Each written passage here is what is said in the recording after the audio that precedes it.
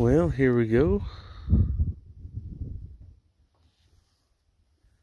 Got my tripod out for the first time. Wind's blowing kind of hard, but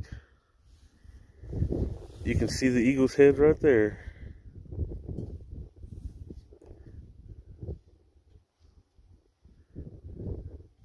Here I am quite a ways away.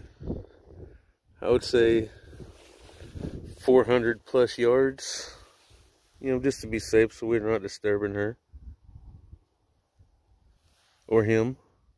I'm not sure if they're actually setting on eggs yet, but man, it's going to be awesome. When I found them, they were uh, setting on eggs and they were just switching off and on. One would go hunt, would sit on the eggs.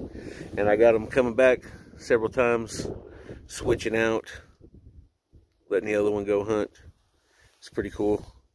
Then I got them coming back during springtime and uh, feeding the babies, which was really awesome.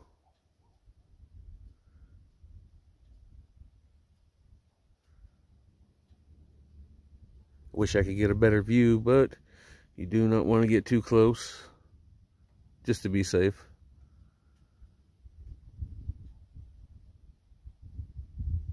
See all the heat coming off my truck. I might have to move.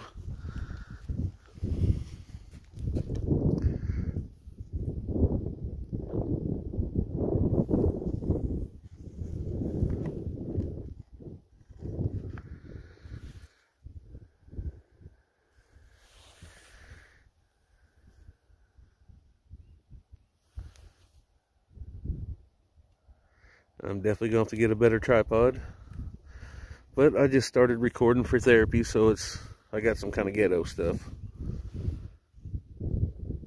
But it's fun.